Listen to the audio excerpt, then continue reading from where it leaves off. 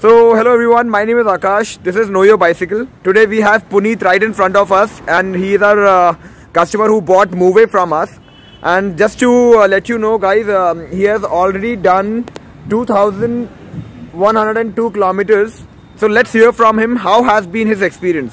कैसा experience रहा sir आपका It has been good since uh, till now. Uh, I have driven 2100 uh, kilometers and yeah, it's been good. Uh, I ride 50 kilometers every day up and down. And you've been reporting to work on this bicycle? Yes, I have been. So I travel from Indirapuram to Chanakyapuri daily every day. Okay.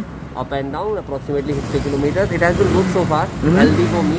Okay. I think e-bikes are a healthy thing. And you have and you have saved up, saved enough also, I guess. Yeah, saved enough uh, on car fuel Uh-huh. definitely, and yeah, it's a healthy choice. I think everyone should start uh, now switching to e-bikes, and yeah, that's Thank you, thank you. And I believe uh, the quality of the bike so far so good. It has been phenomenal.